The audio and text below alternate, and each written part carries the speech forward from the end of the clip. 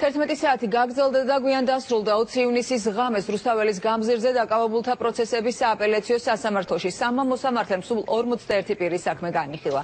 ისინი პირველ ინსტანციის გადაწყვეტილებას ასაჩივრებდნენ, რომლის მიხედვითაც მათ 12-13 დღენი ადმინისტრაციული პატიმრობა ჰქონდათ შეფარდებული წვრილმანი ხულიგნობისა და პოლიციისათვის დაუმორჩილებლობისთვის.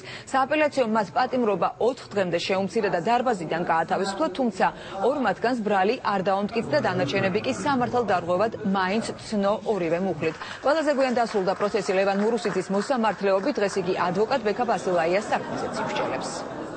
გიორგი მესხის, ზურაბ დეჩუაშვილის, ნიკოლოზ ჯიჯიხიას, ომარ ბაღაკაშვილის, თემის ტრგოიანის, ოჩა უსკივაზის, გაგა ნიკოლაიშვილის, იოსები ბობიძისა და ივანეს ხილნაძის საჩუქრები დაკავებულის ნაწილობრივ. დაკავებულები გიორგი მესხის, ზურაბ დეჩუაშვილი, ნიკოლოზ ჯიჯიხია, ომარ ბაღაკაშვილი, თემის ტრგოიანი, ოჩა უსკივაზის, გაგა ნიკოლაიშვილი, იოსები ბობიძე და ივანეს ხილნაძე გაუყოლებული განაუშვა სასამართლო დარბაზიდან. ჩვენ ერთად ვიდექით იმისათვის რომ დაგვეცვა ჩვენი სამშობლო და ჩვენი ქვეყანა.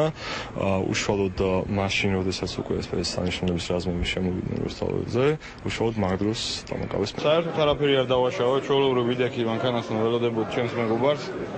აა მოვიდა ჩვენთან პოლიციელი და ახსნა განმარტების გარეშე უბრალოდ დამაკავა. გამაქანეს პარლამენტის ცენტრში, ეზოში და ჩაქვსეს მე ავტობუსში და გავუქანეს წერეთელზე. ყველა მათგან შეუმცირდა ადმინისტრაციული პატიმრობის ვადა და გათავისუფლდა, თუმცა სასამართლომ არც ერთ შემთხვევაში არ გაითვალისწინა ადვოკატების არგუმენტები მასთან დაკავშირებით, რომ პირველ ინსტანციის სასამართლოს მიერ არ იყო სათანადოდ შეფასებული ფაქტობრივი გარემოებები, სასამართლოს გადაწყვეტილება არ იყო დასაბუთებული, არ იყო კანონიერი და შესაბამისად უნდა შეწყვეტილიყო საერთოდ სამართალ წარმოება. თავარი მიზანი რაც იყო ის, რომ ადამიანები გათავისუფლებული იყვნენ პატიმრობიდან, ეს ამოცანა მიღწეულია. სასამართლოს სულ ყველასთან მიმართებაში ქონდა საფუძველი გაუქმებინა დადგენილება